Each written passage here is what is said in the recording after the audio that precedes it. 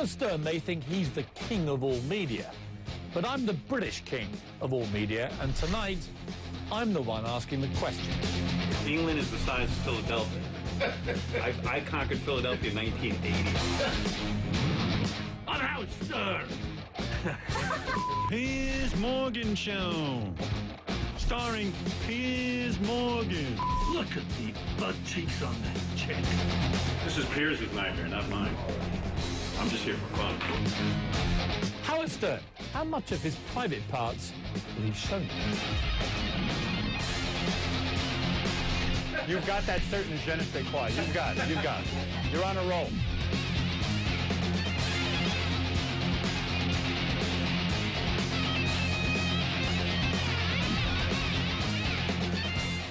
Howard Stern, now when I first appeared on your show, Yes. I remember being dragged into this sort of side dungeon and one of your producers saying, okay, this is how this works. You either appear for five minutes or an hour. It depends how interesting Howard thinks you are. I mean, talk about piling the pressure on. So today, same rule applies. First of all, I Be have, good or you're gone. first of all, I have no idea what you just said. I'm looking at myself on the monitor, and I'm seeing that my hair looks awfully big today, but that's all right. I'll, I'll, I'll deal with that. It's a pleasure to be here on your show. Thank you, Howard. I want to congratulate you on unseating a 95-year-old man.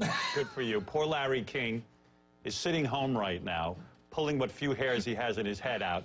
I mean, what a nut job. You leave Larry King alone. Do you like Larry? I love Larry King. And I was always amazed that, like, dignitaries, presidents, people who are important, people who have security teams would sit here with this maniac. I mean, Larry. Larry King's not a maniac. They should have had a reality Look, show with you're Larry my King. second show. I want to have a third show. Yes. All right? Listen, I like you. I like you on America's Got Talent. I think you're a terrific judge. I think you're a nice man. But who the hell knows what you're going to do on here?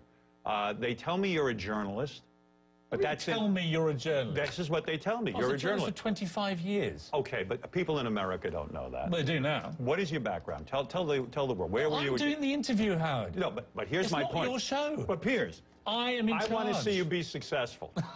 Listen, I wish you a lot of luck. But as I said to your people in there, I said, look, Piers was in England. To be successful in England is very nice, but England's the size of Philadelphia. to conquer England, it takes about two days. Let me tell you something. You call yourself the king of all media. That's right. You don't even have kings in America.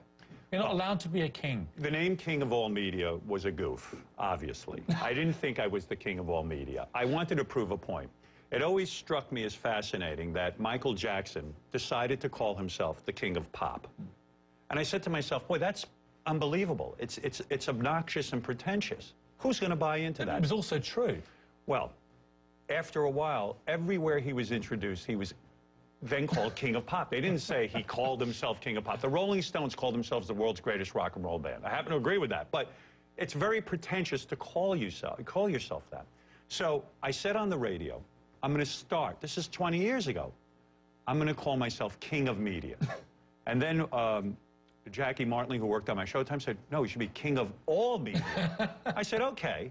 And then slowly but surely, it was a joke, but then slowly but surely it started to become a name that was attributed Yeah, to but me. you've never denied being the king of all media. No, I am the King of All media. You can call it a goof, but actually quietly you believe it, don't The you? reason I'm You're the the, highest paid figure in all media. the reason Doesn't I'm that make you the king? Yeah, the reason I'm the king of all media is I am particularly good at being on the radio, being in broadcasting now my whole life. Whatever I say is interesting. I am a fascinating human being. That's not true. out. Well, it is. That's not true. I'll just tell Everything some- I say is interesting. Like all people in your position, you're one of the best at it, but some days you're off your game. No, I don't You're think boring. so. Yeah, No. I've listened to you. Piers, you can say that to be outrageous because you think you're different than Larry King. They've all tried it. You know, I heard a rumor that you were going to challenge me today. You wanted to be confrontational. You wanted to say that you are the best interviewer in the world and all I am. that. And that's good. I'm glad you're confident. Mm. But my friend, you have a lot to prove here. We're going to see with these ratings. Your report card is going to come in. And here's my prediction. In three months, you'll have fired your talent booker. I said to Piers before, I said, the first week is great. You've had Oprah, you have me, you have some interesting people. But what's going to happen three months from now when you're interviewing Scott Baio? I mean, where, really, what are you going to do? Who's going to care? I want to play you a clip All right, because play you, a clip. you said this on your show that, uh, in the last few days. They want to announce that I'm going to do this show, but I don't. You know what? It is Piers Morgan. F- it. When, Yeah, when no, is but- he starting? I don't know. I don't know what the big secret is. Who gives a shit? No one's watching that thing anyway. Well, you, uh, uh, it's not on. That's what I mean. It, it, it might as well not be on. I It has as many viewers now as. I mean, wait, wait, Piers Morgan's coming. Woohoo! Listen, I want you to be successful. Well, successful. you can apologise. No, I want you to be successful. I You really don't- You don't want me to be successful. I do. No, I you don't. like you. I like- No, no, you can like me, but I don't believe you want me to be successful. I genuinely- Because if they're all talking about me, they won't be talking about you. No, I don't see it that way at all. I think that I think that I have a very nice career, and that my career will always be here. I've seen them all come and go, and uh, I, you know, I, I really truly want you to be successful. I hope you do well. What's, I the, what's the secret? I mean, you- you're the master of this. What is the secret of being a long-time successful entertainer in America, do you think? I think you have to have a sense of yourself. I think you really have to understand what people want to hear. And, and, and by saying that, I think that's something, not that you're born with, but it's cultivated. I had a father and mother who would cut me off the second I went too long. I started to talk, they'd say, You're boring. You're boring everybody. This is a horrible story. Well, and then, point. but then when I got it right, when I would do an impression of their friends and I had the whole room laughing, there's terrible pressure on me. This is the way I won love and acceptance from my parents. But it was the best training ground in the world. In a sense, I've always been doing a radio show to get approval. It's funny, someone, I, I stuck out on Twitter today. Give me a killer question for Howard today. Right. One of them stuck out to me. It was quite a good point. Is that if you've got the, the, the money that you've made, the success you've enjoyed, the status, everything that comes with it, what would motivate you to get out of bed at 3.34 every day? I don't carry know. on doing this. I don't know. I had I I had to I, I came to a conclusion because my contract was up a few months ago, and I really thought I was going to retire.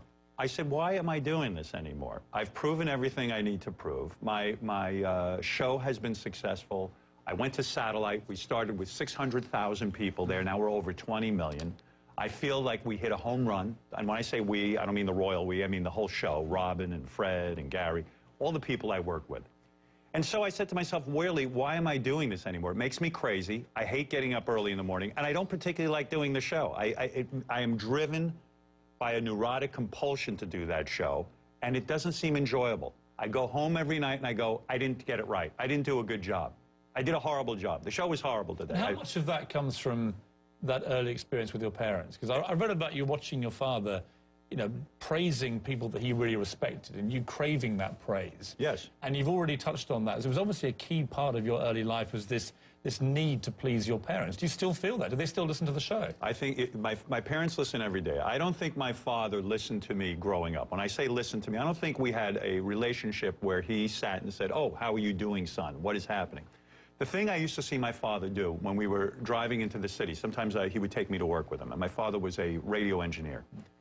And he, um, he would turn on that radio and he would shush me. Shh.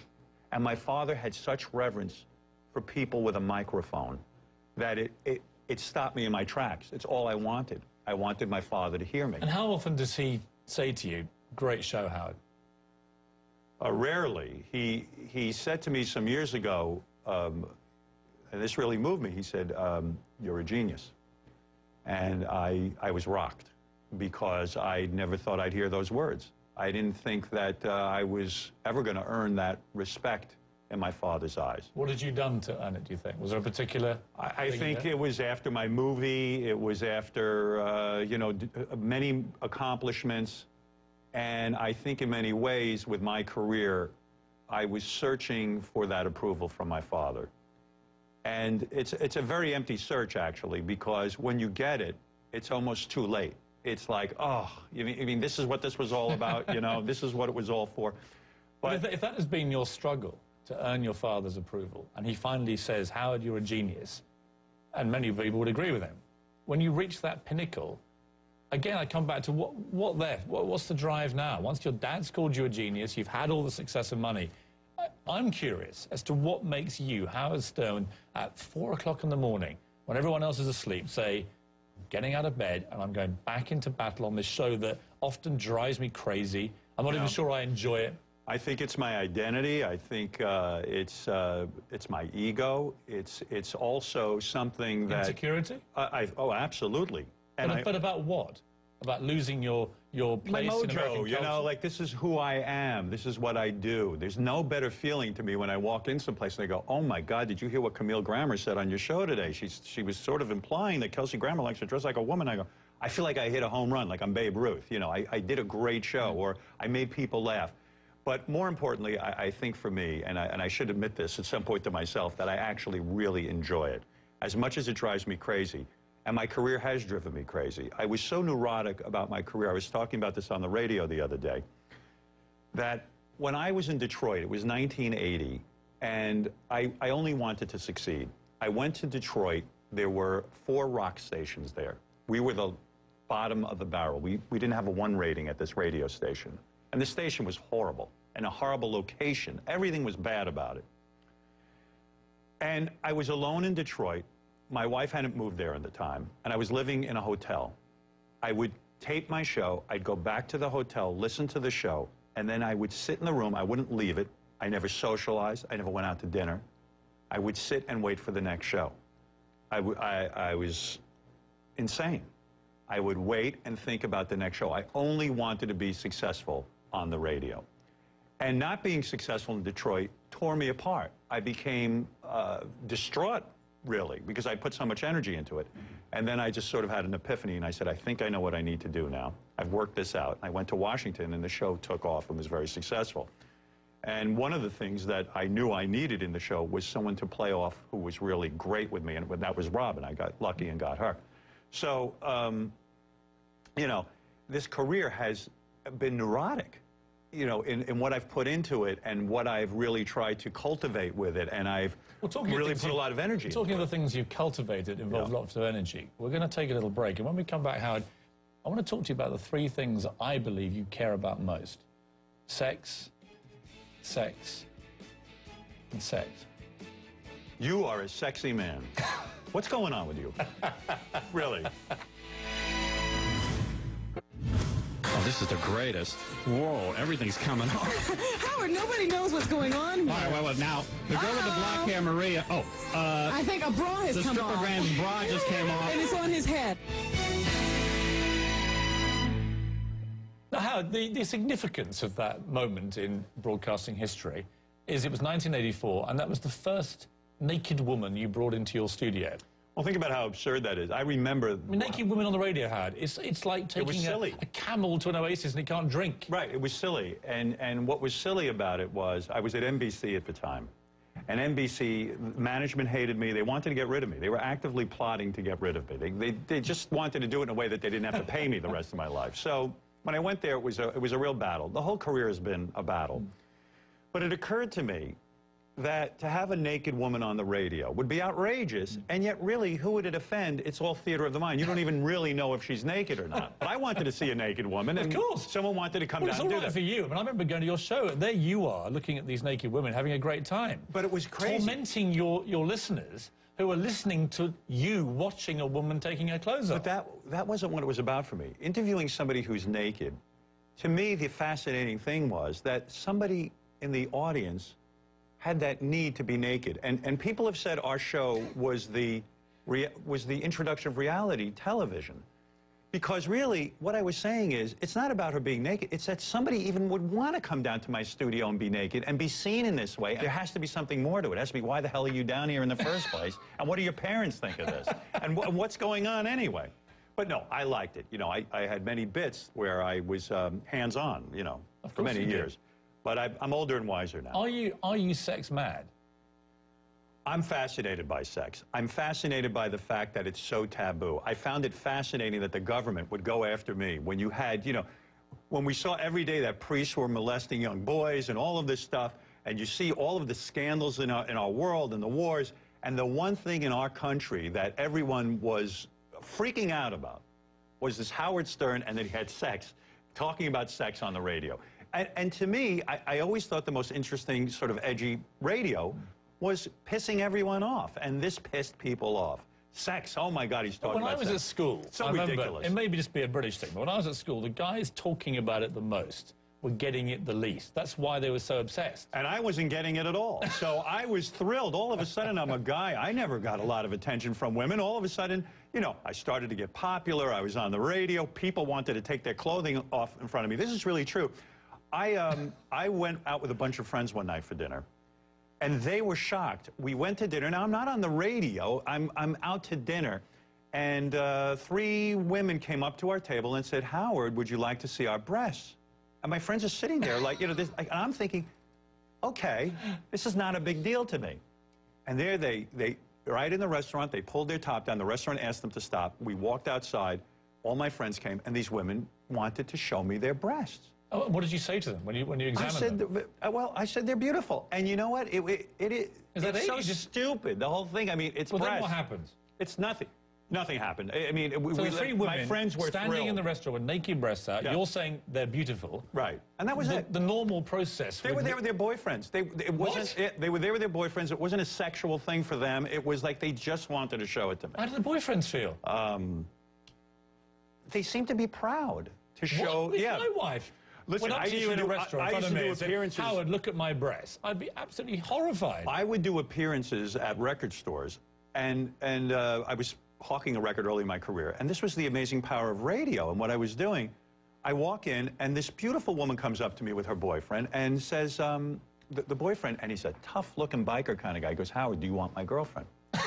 I said, what do you mean? He goes, he goes, do you want to have sex with my girlfriend? He says, you're the only guy I would allow this. You know, and, and of course, I was married at the time. I was, I, but, but I was So- so what, fascinated. you said yes or no? But um, the answer was no for me. But I, I, I never, I never cheated. So it was like the kind of Have thing you ever where cheated? no, no, I You've don't. always been faithful. I've been faithful. Yeah, Really? yeah. See, that's, Why are you shocked by that? Well, it's the kind of contradiction. See, unlike most celebrities who preach this sort of squeaky clean um, persona about themselves to Right. propagate a false brand and then go home and take loads of drugs and sleep around, Yeah, they're you're, the, you're the complete opposite. Right. You talk this great game about wild nights out and strippers and drugs and all this kind of thing, and then you go home and actually you're a domesticated little pussycat, Yeah, you? no, I don't like to go out. I don't like to leave the house. I like to stay home. But I'm fascinated by human behavior. And I love, uh, much like what you're doing here, I love, I love talking to people and I love getting to the bottom of things. Had Ron Howard on the show today. And, like, you know, we spent 10 minutes on the fact that um, Don Knotts was a ladies' man, and I only wanted to know the size of his penis. I'm not gay, but I thought it would be interesting to know if Don Knotts had a big Well, here's penis. the other I have thing. an odd curiosity. Yeah, but you've always maintained, and I, I think I quote directly, that you're hung like a raisin. I am. Yeah, but I'm assuming that's the normal Howard reverse psychology. In other words, if you're always saying you're hung like a raisin, what you really mean is, I'm hung like a donkey. No, well, what I really mean is I'm hung like a raisin, and it's been a source of great embarrassment. are to you really? Yeah, I am. I would show you, but I'm embarrassed. you would laugh at Would it. you say physically impaired? No, listen, I'll, I'll tell you what. You, you want to really get into this? I don't know do, how much of this you can air because, uh, you know, CNN's a little uptight. But uh, Let's try it. when I'm aroused, I'm, a, I'm, I'm what they'd call average. I'm six inches. How, ta- how, how many inches are you? I'm not getting into that. You've never Howard. measured? No, I'm interviewing you, Howard. Well, I've it's done about that. your measurements. Okay. Have you ever taken Viagra? Never. Never tried Never. it. I don't need it. I No? am, I'm 57 and I am, I am fully aroused. But ever Well, taken I'm any- aroused now. You ever taken any drug? Oh yeah, I've, I've had I've had a history with drugs. I, I never was a drug addict. I don't think. I don't think you classify me as one. But I experimented a lot when I was younger, and I think I was very unhappy. And I've told my audience over and over again that um, I, I had a terrible experience that I wrote about in my book with LSD when I was young, and I didn't understand. There's no there's no direction on the on the acid that you buy, and I bought a four-way hit, and I took the whole thing, and I really almost lost my mind. It was it was the most horrible, worst experience of my life. And I've been a big advocate of saying on the air, I'm for the total legalization of drugs. I think that uh, it's ridiculous to try to monitor that. Even But- though you went through that kind of experience. But I, for myself, I do not.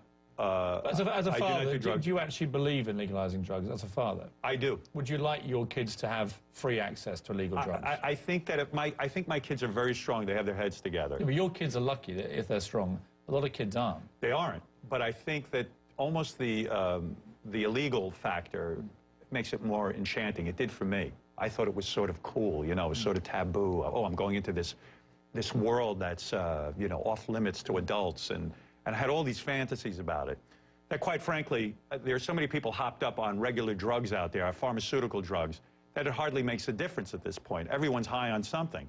So I, I, I think a show like mine is actually healthy because when kids do listen to it, I can say to them, you know what, this so didn't work for me. Here's why. I tried it, and I almost lost my mind doing it. I'm going to come back in a moment, Howard, with the only drug you seem to really delight in partaking in these days, which is the drug of love with your wife. I'm, I'm in love with you. Marriage and You're a- romance. you're a sexy man. Ever since you After fixed your break. hair. Is this supposed to be some kind of in-depth profile I don't know. revealing you in ways you've never been revealed before? I, I doubt he's going to get that because first he goes, Can I interview you at your house? No. Can I talk to Beth? No. She'll talk to me. Howard, I want to show you a charming picture Good. of a happily married couple. Where do I There see is- that? Oh. They're in your beautiful wife, Beth. That is my wedding. Yes. What are your thoughts when you look at that picture?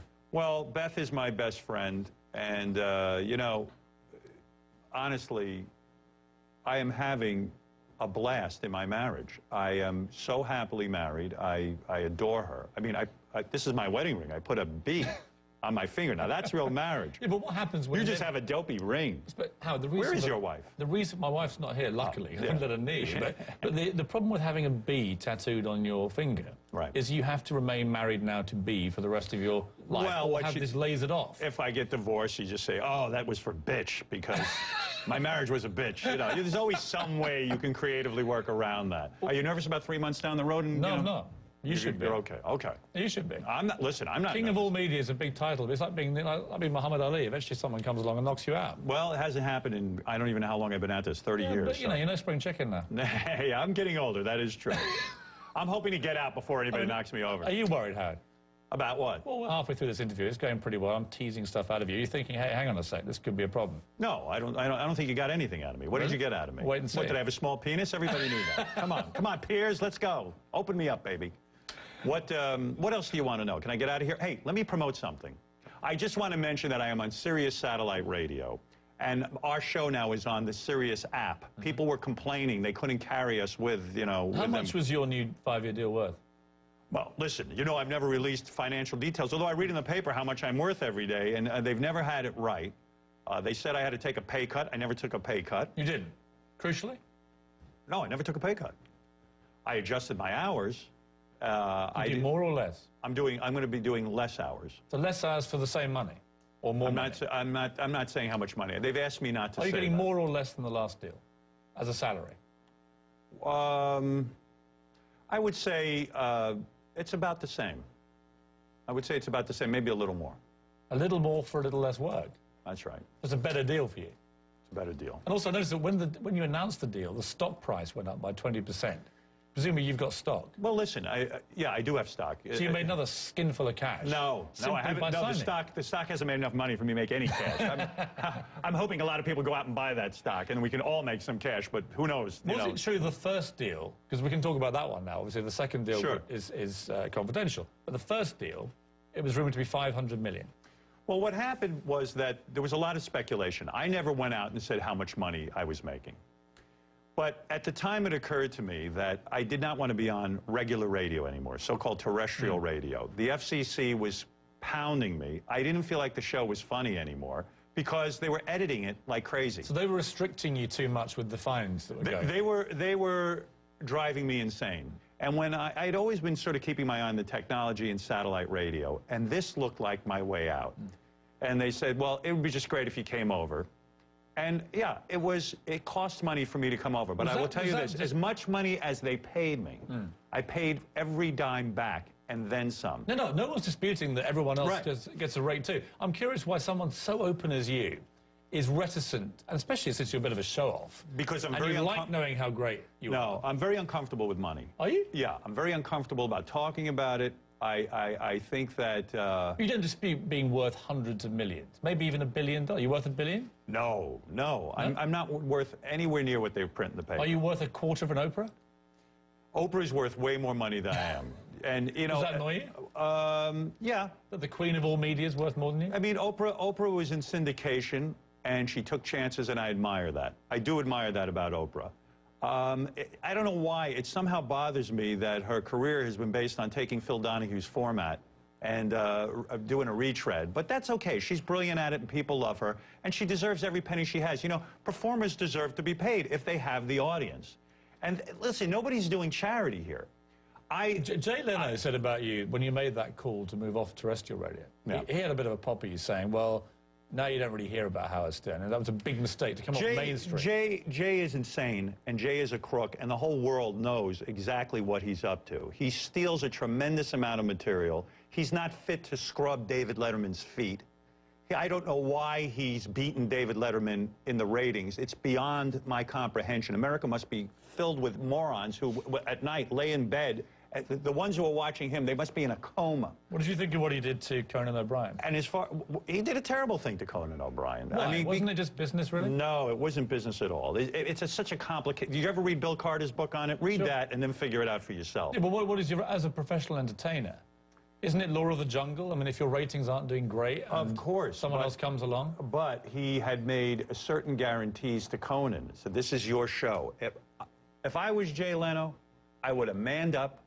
I would have said, listen, Conan, you think you're so good? I'm going to go to Fox Network or I'm going to go to ABC and I'm going to put my show on and I'm going to kick your ass. That's what a man does. You don't sort of weasel your way back in by saying, I'm going to do 1130. Did Conan have a problem with that? Conan said, yeah, I do have a problem with that. Didn't matter. Jay took it anyway. Jay But how would you feel? You're number one in, in what you do. Yeah. How would you have felt? I don't if- like Jay personally. I, Jay, No, was I one of the the great- Jay was one of the greatest stand-up comics, in my opinion, when he was younger. But I do not like how he's behaved with me personally. I've done his show many times in the past. I won't do it again. And you know what? I've let go of all of that, even though I'm ranting and raving like a lunatic for your show. Hmm. And as far as Oprah goes, I'm happy that Oprah makes a living. When Who do people you most admire in your business? well, uh, I, Letterman being one of them. I like Jimmy Kimmel a lot. Why, why Letterman? What, what makes him to you the Because standout? Letterman's an original. Letterman came on there. He was a breath of fresh air. He he was able to do new types of bits. Even the way, even the format of his show, even the way he'd do his monologue, walk to his his desk, but you wouldn't see him walk to his desk. Everything has been imitated now. He would shoot a thing at the camera. Now everybody shoots a thing at the camera. There were things that Dave did that were very um, that were very innovative. And so I believe he's an original. I see when Dave does something, the other guys have to follow. So, you know, I admire him greatly. We need a break now. Howard. I think we both need a break now. Well, I Don't need you? a break. I need a break from you, Piers. I know. We I've need to had have a little break. When is this show going off the air? Uh, probably the moment this show fin- finishes. Right, right. I think this is it. This is Piers Morgan Tonight. Piers Morgan Show, starring Piers Morgan.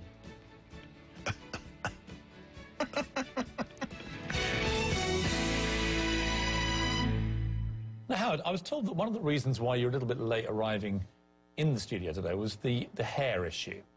That we had gel, we had pomade, whatever that is, we had spray. There was a kind of flotilla of people around you No, actually, perfecting this beautifully crafted bouffant. this this look is very, very complicated. Listen, I am not a handsome man, as we can see. So, in order to look rugged. to look, I'm a rugged man. So, in order to to put this look together, in order to get the appropriate look, it takes hours because Is it real, that hair? the hair is real, and I and I, I- don't and I don't I- col- and I don't color. Don't get too frisky. I mean, if I was to give it a good yank, it wouldn't all just... No, no, it wouldn't all fall out. No, I have my own hair. And you dye it, obviously. I do not color it. As you can see, I have some gray in it, but no, I'm very blessed. My my Howard, look me in grandfather. the eye and repeat that. I swear on a stack of Bibles that I don't color my hair. Really? Yeah. Yeah. So you're 57 and you have a naturally pretty dark, Yeah. curly... A, a big bouffant, as they call it. Yes, I'm very lucky. Do you feel, does it make you feel virile? I am virile. I am. Are you, are you romantic? Yeah, I think so. I mean, I think I think what I've learned after all these years, and I'm in therapy, you know, and that's really helped me. In fact, that's where I was before I came to see you. And one of the things as well. I think I've learned that my that uh, you know it can't all be about me all the time, and that in order to have a successful marriage, somehow I have to learn to also make it about my wife and and to put her first, and to try to uh, address what she's saying and listen to her and hear. And I think I think I'm being a good husband. I'm Every, trying wom- very every hard. woman I, I had talked to about you was curious about the same thing, given your, your on-air brand. Just ask Howard, is he good in bed? Well, you know, I hmm, that's a tough one. Some women have said yes. Some women How have many said have yes. said no? Uh, well, you know, listen, here's the sad part. Before you become famous is the real test of how you are in bed. I had women cry. I had women. Oh, wait, wait uh, with, with happiness or with no, despair? No, despair. In fact, I, the first time I did it, uh, the woman said, I really think this is a bad idea. She said, You know why? She said, um, I know that for a guy, you're always going to remember the first woman you made love to. And I don't want to be stuck in your head all those years. so it was, not, it was not a good start. But as time went on, you know, I, you know I, God bless the porno industry. I learned from watching these pornos. I don't know. You watch porno? Well, look, I was going to ask you about this. You bang on about the glory of porno a lot, and yet, again, I come back to the fact you're now a family guy. You've got kids. No, of course not. They're going to be exposed to all this stuff. What's your real view? Uh, my real view is this: that uh, it's a it's a sad day when it, I I interview many porno stars, and I'm fascinated by their lives because I say, you know, the, the parents must be like uh, out of their minds, and and you get all kinds of strange reactions. You get my parents are my best friends; they support me in the business. Then you get the opposite reaction. I come from a, a very religious family, and then you get this other kind of wacky answer. And that's what I'm after. I think that's what's interesting about the show. Hmm. Sitting and interviewing another naked porno star would not be interesting. The show would have been off the air. Do you ever feel? I'm going to play you a clip of the, the David Arquette moment, which is obviously the stuff of legend. And we'll just come back after that and ask you. I want to ask you one thing when you watch this afterwards whether you ever feel guilty when this kind of thing happens spontaneously. Sure. we get a, a trial separation. We have agreements with it. She knows she's not fing me, and she's like, "Listen, I want you to be able to, you know, do whatever you have to do. You know, uh, essentially, uh, free to see people." I mean, listen, from a journalistic point of view, fantastic. You know, this major star rings up and he pours his heart out. He's clearly under the influence of alcohol and it's, it's riveting radio. But when you actually go home and you think about it, are you proud of that kind of moment or do you feel uneasy? Um, first of all, David is a friend of mine and has been on my show many times. So that was the history. That's why he felt comfortable calling in. He's, he's actually spent a whole day on the show. He just kind of hangs out with us. And I like David very much, and I'm really uh, upset for him because he really is hurting about his wife. I don't think he'd mind me saying that. But, you know, um, there's a part of me that went home that day and said, gee, I hope this doesn't backfire on David. But I just kind of get caught up in the fact that I was genuinely interested in what was going on in his life. But you do sometimes wonder, gee, what is going to be the implication? But David is a grown man. I, David was not intoxicated when he did that interview. He was just bummed out and he was upset, but he was not intoxicated. And I think he was saying something really beautiful. He came on because there were reports in the newspaper that were saying that David was cheating on his wife, and that's what broke things up. People picked up what he said there and blew it up to make it look kind of ugly, and he became the cheating husband again. It completely backfired. But his intent was good. And to answer your question, no, I didn't feel guilty. So, as his friend, though, when it backfired, did you feel uneasy about I, that? I wrote him an email immediately. I said, I don't like what's going on here. I'm getting uh, upset about it. And he said, I'm not. I feel comfortable in what I said. And uh, I checked in on him as a friend to see if he was okay about it. Um, listen, when you're doing a radio show and you invite people on, anything I've said here today, Jay Leno might be upset by what I said today. I'm willing to accept responsibility. I'm not going to blame you. Do you feel bad that I that you had me on your show and I No. just said, yep, of The more course not. outrageous, the better. Right. I mean, why not? And uh, David felt most comfortable talking to me, and that's what I'm proud of. And I'm also proud of the fact that I'm the type of broadcaster where when you come on my show, people tell me they forget they're on the radio. And to me, that's um, a good sign. I'm doing something right. So, uh, you know, no, I don't feel guilty about what I do. I, I'm proud of what I do. We'll take another break now. Howard. When we come back, I want to know what you think about the state of America and about Barack Obama. Okay. You're watching Piers Morgan Tonight.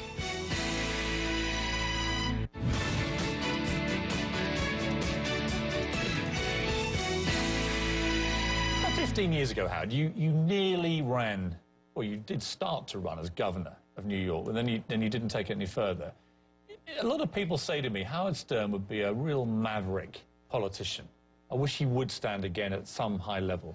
I would be an awful politician because I polarize so many people. I mean, there's a lot of people out there who just, you know, whatever their impressions are of me, I would not be good. But the odd thing about running for governor was it was it was something where I just got on the air and said, I'm going to run for governor.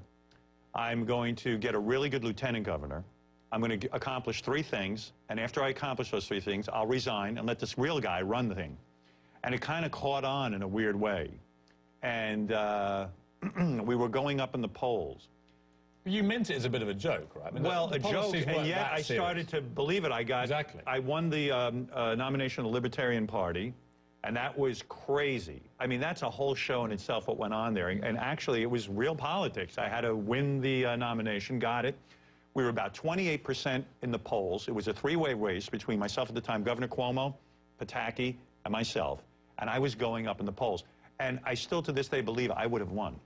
I think in a three-way race, I would have won. But you pulled out. I pulled out and I backed Pataki. And uh, Pataki won. Are you, are you tempted to go again? No, no, I, I would never. I, I, I can't even understand how anyone does it now. I, as I've But when, I- matured. when I hear your show, you see, a lot of it is great fun and great banter and everything. But obviously, you're incredibly smart. You have a great quick wit. You have a great sense of what American culture is about, about what real people care about. You said yourself, that's your, your gift, is your instinct for knowing what people care about. These are the credentials for what I would call the modern politician. But you've got to have a love of service. You know, I'm not one of these people who gets on the radio and knocks every senator. I happen to think there are a lot of intelligent senators out there. I hear them speak, and I'm proud to be from this country, and I'm proud of our politicians. There's a lot of good people out there. And I wouldn't run for office, and I'll tell you why, because I'm not serious enough, and I'm not serious enough about helping people. There are too You many... see, I think when I hear you speak like this, I think you are serious enough. You I'm are. serious about the fact that... You're we- always deflected in the end with humor, but actually you are a serious guy. Uh, Underneath I- it. I think, listen, when you got guys over in Afghanistan and Iraq, you need some serious people who are going to. I don't want to see guys on endless vacations. I want to see guys working. I want to see politicians taking the job seriously. Bill Clinton was a great president. Why was he a great president?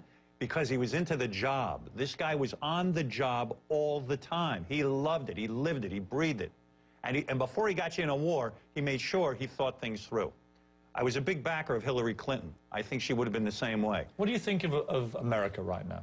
Where, where do you think it's come to? I think America is the greatest country in the world, and I don't just say that to, you know, to, to I, I love this country. I hate leaving this country. I just went to that Turks and Caicos. I want to go hang myself. they have so many ants over there, I was going to throw up. I get in my room, I'm, I'm deluged with ants. You should, I was paying a couple of grand a day. To, to be serious, what? I love Americans. I love America. I love our freedom. And nowhere could a guy like me, a, a, a schlub like me, have success with. Where would I get this freedom of speech? They don't allow this anywhere. This show, this show airs the day after Martin Luther King Day. Right. And by sublime irony, really, you now have the most powerful man and woman in America, both being African American, Barack Obama and Robin, who you created, of course. I didn't create her. But She to be, to be Yeah. half serious about that, when you first took Robin on, it was controversial you made a big deal of this. It is actually a very symbolic thing that the president now is Barack Obama, African American. Listen, I didn't. It's almost uh, ridiculous to say I took Robin on, who happens to be a black woman, because some people say, "Well, did, was that calculated so you'd have a black woman working with you?" I couldn't care what color she was. I was desperate. I needed somebody who was fantastic on the radio to work with me, someone who played off me, who had a fabulous laugh, who got my humor, knew when to back off and let me roll, and, and, and knew when to come in and save me. And that was Robin. I never could. In fact, I met Robin over the phone. I didn't even know she was black. A program director put us on and said, "Let me hear you two guys talk." We started talking. It was effortless, and that's that's Robin. So this whole idea that you know Robin, uh, black woman, you know, some, someone said it's brilliant. Then you could talk about black people. I go, I'm not that calculated. I needed a real good partner, and Robin's it. When we come back, I want to talk to you about Justin Bieber, Miley Cyrus, and whether I was right to ban Madonna from this show. Okay. This is Piers Morgan Tonight.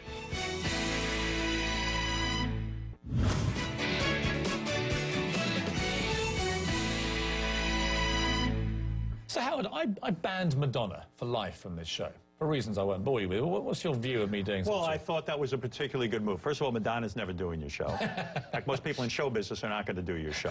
I'm doing it because Well, I like. are. I'm doing it because I like America's Got Talent. I don't even know what this show is. I love that. I love when you hit the buzzer. It's first of all, you're the only good judge. I love Sharon. I've known Sharon for years, But she is. She does want to be everyone's friend. This the guy you got to wonder about is Hasselhoff. Now that's who you got to get on here. Well, he's actually left America's Got Talent, but he's now taken over from me on Britain's Got Talent. But Britain's Got Talent is nothing, and who cares about that? I'm, this guy was Britain's on. Got Talent produced Susan Boyle. So you don't, you honestly going to sit here and look me in the eye and tell me you don't know why David Hasselhoff left? or uh, you do know? no, I'm just not going to tell you. He left for a personal reason? I'm not going to tell you. Tell me. It's not your interview. It's not Tell your me. damn show. How big is your penis? Bigger than yours. well, big deal. it's nothing to brag about. But I love you on America's Got Talent. Thank you. What do you think of the current music scene? Uh, you're a DJ, and when you see Miley Cyrus, Justin Bieber dominating, what do you think? I love watching these, uh, like Miley Cyrus, grow up and then start taking all her clothes off. It's very fascinating. she didn't even wait till like her 18th birthday, right? I like her. I like some. I like Lady Gaga, Miley Cyrus. I don't know. I must. I, I must have weird taste because I like a lot of their songs. I'm actually into some Miley Cyrus. In fact, the other night, this sounds really pervy. I was just, I typed her name and was looking at her videos. But uh, Whoa. yeah, hey, you know, I, I liked it. But um, the current music scene, you know, listen, I I was a disc jockey for many years. You know, I played records. I hated playing those records. It was insane. I, I, I was neurotic about it. When the records would run out, my hands would shake because I had to get the next record on. they wanted the perfect segue. So I hated that aspect of my career. I hated playing records, but I do love music. But I am a real fan of David Bowie and uh, Crosby, Stills and Nash, the Beatles, like the classic Is rock. an age thing, do you think? Well, yeah, I think it's part. It's part of you know. Do you worry about old. getting old? No, I don't. I'm actually feeling really good. I mean, I don't want. I, I would like to stay like about this age. You know, I'm I'm very happy right now. Could you imagine being 80 and happy? I don't know. It's weird. My parents are in their 80s now, and my mother's like, "What the?" You know, she says it's re- it's really kind of depressing because all of her friends have died, and she's you know she's like, and they're in great health. My parents, but what she sees going on around her gets her sad, and uh, what's, been, what's been the moment in your life which, if you had five minutes to live, you, you would have again? If Oh. You, if you could. Well, hmm, you know, i this sounds corny, but it's the truth. I, I, uh, I adore my children, and, and having my children was an amazing time in my life. Uh, that was pretty spectacular. And, uh, you know, in terms of my career, making the film Private Parts was unbelievably satisfying. Uh, I wrote the book and uh, never expected that it would be made into a movie. And lo and behold, they bought the movie rights. I, I got to work with Ivan Reitman and Betty Thomas, and I loved acting, and I loved putting that story out there. And I feel it's a great accomplishment. I liked writing the books. I liked the movie. So those were real big highlights. And also, it was the moment, you know, you said earlier that your father suddenly worked out, you know what, Howard, you've done good, actually. You, you are a genius. You, you, you've, Yeah, that you've was a big- realized Yeah, all this hard work has come to fruition. yeah, that was a big moment for me because my father and I don't have those kinds of conversations. So, Does he ever uh, tell you that he loves you? Yes, he does now. He, he didn't. That was something that he wasn't comfortable with. I think my father always loved me, but it wasn't the kind of thing where he'd say, "Hey, Howard, I love you," and I would badger him on the radio. I'd call him up, "Dad, say you love me. Daddy, say you love me. Say you love me." And then finally, he broke down, and now he says it regularly, and I think it makes him feel good. And uh, you know, I, I love my parents very much. Now, Piers, time for another plug. I was um, very uh, lax when I plugged Sirius Radio. I forgot to tell you that there's also Howard TV on Ah, demand. Thank goodness you mentioned it. So in the end, you are just a shameless little plugger, aren't you? Yeah, hey, that's what do you think? I'm here for my health? Piers, you're a nice guy, but no one wants to sit and talk to you. I mean, I'm doing it for the plug. I want you to get the SiriusXM app and don't cut this out. One thing about Larry, it was live. Well, you couldn't honest- cut out those plugs. You can have your plug because I got the tiny raisin. That's right. You got Howard? a lot of info. Oh, that's it? That's it. You're I off. need 10 more minutes of plugs. You're gone. Piers, I wish you a lot of luck. Thank you. I don't believe you, but I thank no, you. No, I really do wish you a lot of luck. Management at CNN, they turn on you on a dime. Look at poor Spitzer. Okay, thank you, Howard. They're We've had a great evening. Good luck. And Look we at poor can't wait to be back here tomorrow with less Howard Stern. All right.